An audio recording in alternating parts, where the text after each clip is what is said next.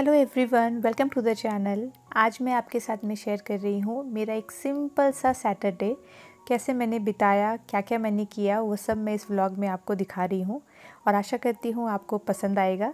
तो अभी बज रहे हैं सुबह के आठ और कितनी अच्छी धूप आ रही है बालकनी में। तो मैं यहाँ बैठ के गर्म पानी पी रही हूँ।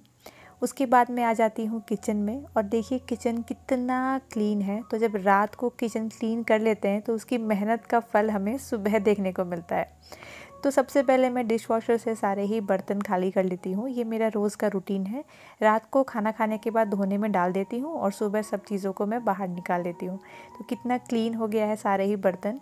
जो भी बोलिए सुबह सुबह अगर किचन क्लीन हो, सारे बर्तन धुले हुए हो तो बहुत अच्छा लगता है और एक फ़्रेश स्टार्ट लगती है मॉर्निंग की और फिर आगे का काम भी करने को मन करता है। तो सबसे पहले इसीलिए मैं सारे ही बर्तन को जगह पर रख देती हूँ।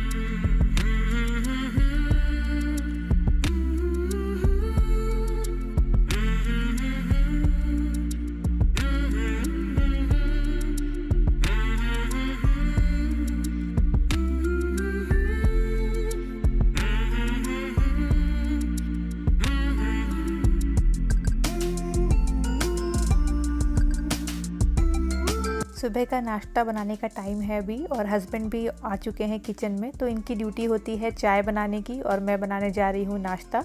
तो नाश्ते में आज मैं बना रही हूँ पोहा तो बड़ा ही सिंपल रेसिपी है, बहुत ही आसान तरीके से मैं पोहा बनाने के लिए जा रही हूँ।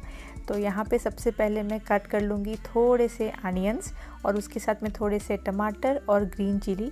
कल रात को मैंने बनाया था आलू का पराठा तो उसमें जो आलू यूज़ हुआ था, उस आलू को मैंने बचा करके रख लिया था। तो जो इसमें पोहे में हम आलू डालते हैं, उसमें मैं वही वाला आलू यूज़ कर लूँगी। तो ऐसे फटाफट में हमारा पोहा बन करके तैयार हो जाएगा। तो जब तक मेरा पोहा बनेगा, तब तक अंगद बना लेंगे चाय और ऐसे करके हमारी हो जाएगी एक परफेक्ट मॉर्निंग ब्रेकफास्ट की शुरुआत।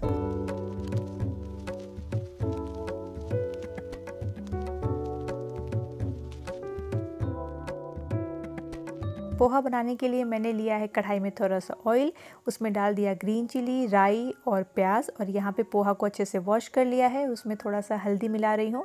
उसके बाद इसे भी हम फ्राई कर लेंगे और इसमें डाल दिया मैंने आलू, उसके बाद थोड़ा सा नमक, थोड़ा सा चीनी और नींबू और धनिया का पत्ता और पोहा बन करके तैयार हो गया।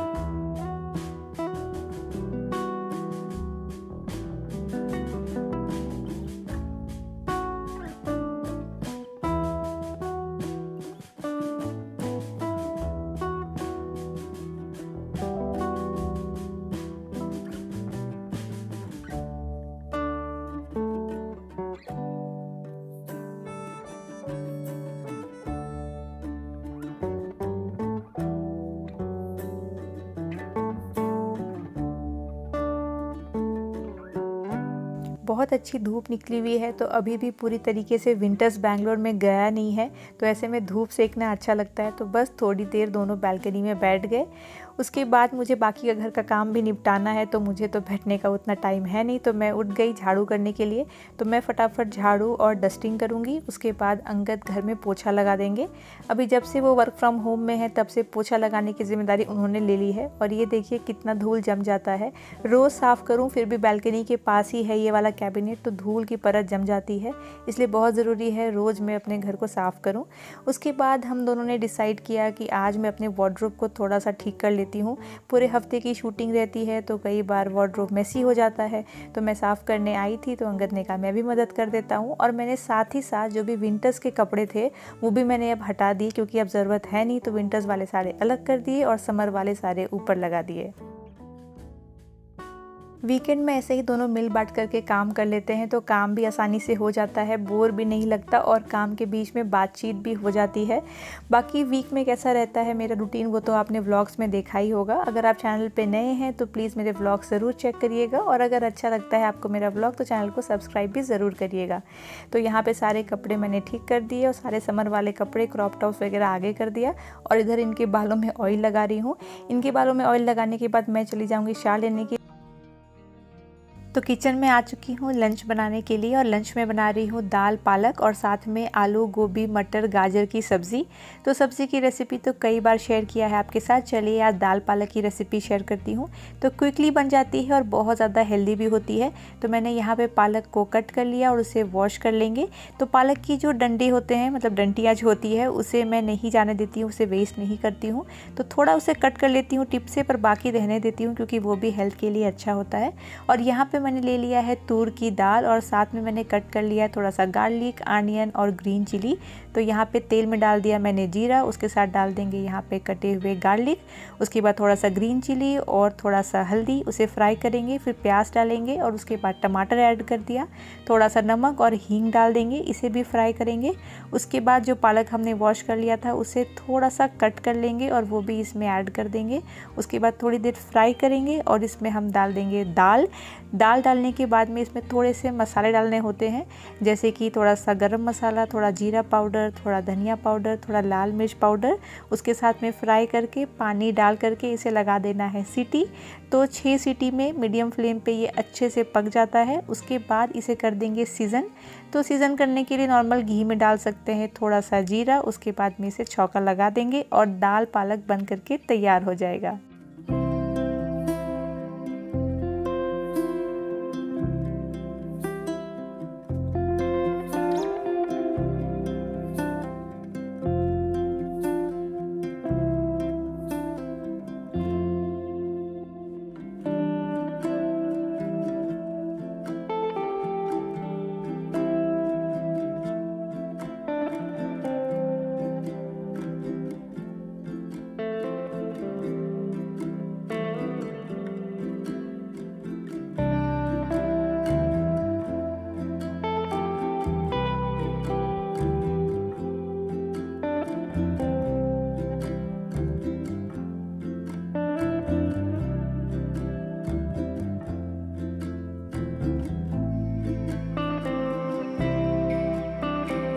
लंच बहुत ही टेस्टी बना था। आप कभी ये दाल पालक की रेसिपी ट्राई करिएगा और अगर करते हैं तो मुझे कमेंट करके ज़रूर बताइएगा। लंच करते ही हम दोनों को बाहर जाना था, मुझे कुछ काम था तो हमने पाँच मिनट भी आराम नहीं किया। लंच फिनिश किया, तैयार हुए और तुरंत ही निकल गए। और काम भी ऐसा था कि तीन चार घंटे तो लगने ही वाले थे तो अब वापस आएँगे सीधा शाम को।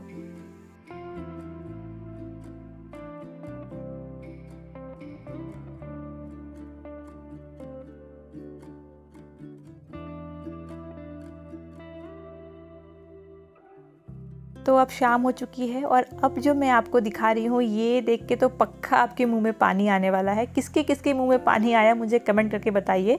तो शाम को लौटते वक्त हमने गुपचुप पैक करा लिया और बहुत ही ज़्यादा टेस्टी था। अब गुपचुप किसे नहीं अच्छा लगता है? तो यहाँ पर मीठा पानी भी था और तीखा पानी भी था। ये कॉम्बिनेशन मुझे बहुत अच्छा लगता है मीठा मीठा और तीखा का। आपको कैसा अच्छा लगता है गुपचुप, मुझे कमेंट करके बताइए।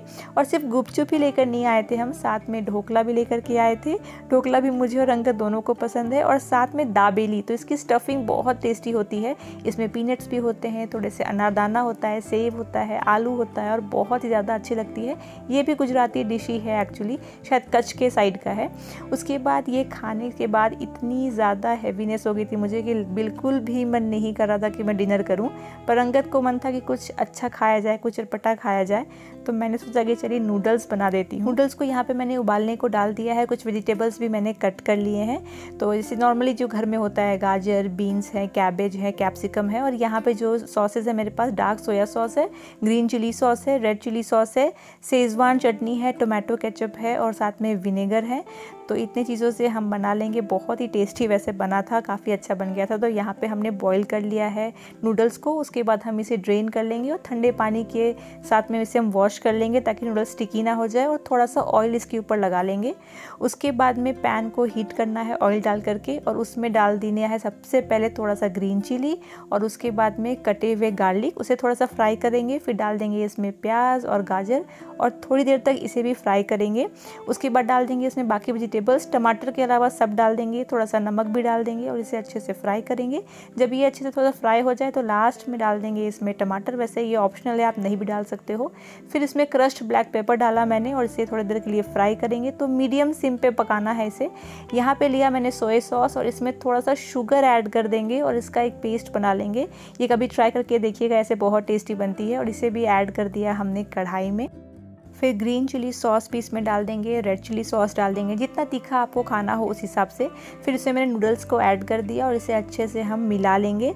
उसके बाद इसमें डाल देंगे थोड़ा सा सेजवान चटनी, काफ़ी कम वरना बहुत तीखा हो जाएगा ये। और लास्ट में डाल रही हूँ थोड़ा सा विनेगर उसके बाद में हॉट एंड स्वीट मैगी का मैं यूज़ करती हूँ, ये कैचअप बहुत अच्छा लगता है मुझे। तो वो भी मैंने इसमें मिक्स कर दिया, उसके बाद बस हमारा नूडल्स बन करके तैयार हो गया है। और अंगत को मैं सर्व करके दे रही हूँ, मैंने बस टेस्ट किया और कुछ भी खाया नहीं, इतना नाश्ता ही हैवी था कि क्या ही खाती।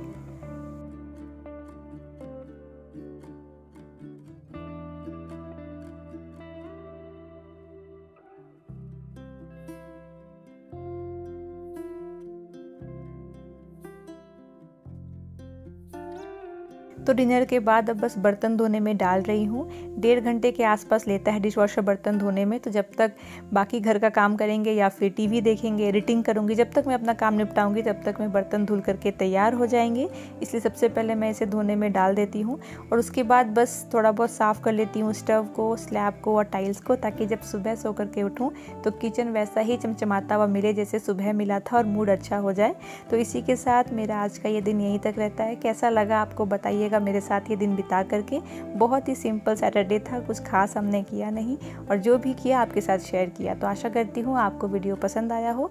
अगर अच्छा लगा हो तो लाइक ज़रूर कर दीजिएगा। चलिए मिलती हूँ अगली बार। बाय